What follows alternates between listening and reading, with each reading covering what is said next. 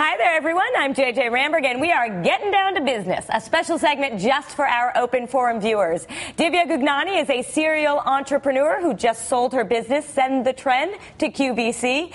And Kimberly Weisul is editor at large at Inc.com and just started her own new company.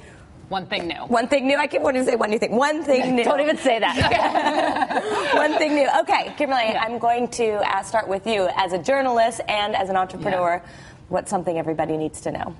What something I think a lot of people in fast growth companies need to know is how venture capital works. There have recently been some really good books by VCs. Um, there are great blogs by VCs.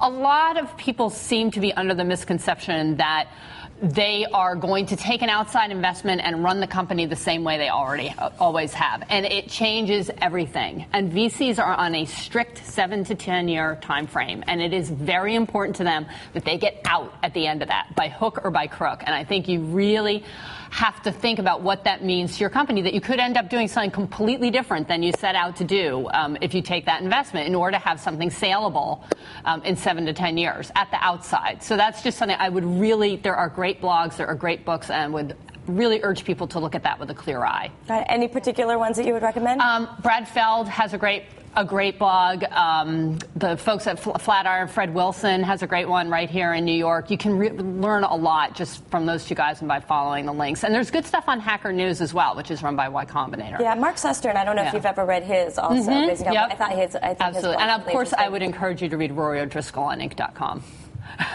All right. Of course, it couldn't be more true given the fact that I was a VC.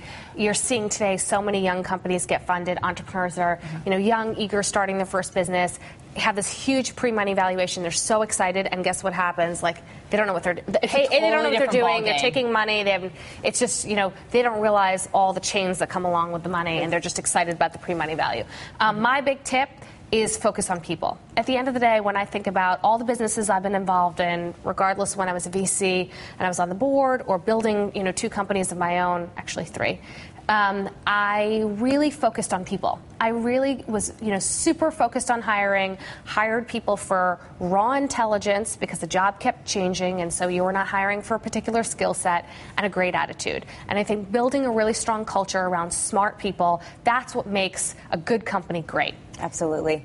Yeah, particularly because in all of our companies, the jobs are changing all of the time. Everybody has five jobs. Yeah, exactly. Doing the right. job of five people so in the Tell us how you found those people, right? Because a lot of people, they want the A list, but they're like, I'm a small company, I don't have a lot of money, so. Tons of personal you... relationships, having existing employees who have a great rapport, mm-hmm. like the culture, like the people, um, being messengers for your brand and doing the marketing for you and getting new people in. Um, a lot of the our initial talent was really built by personal networks, and we continue to build using right. the same means. And not giving up. It's really easy when you need someone to just say, oh, they're good enough. Never good enough. But, they have to be the best. Yeah. Every single person you hire should bring in a skill set that you don't have as the CEO and as the leader, um, and add something new to the pot. Yeah. Okay. Great. Thanks so much, guys.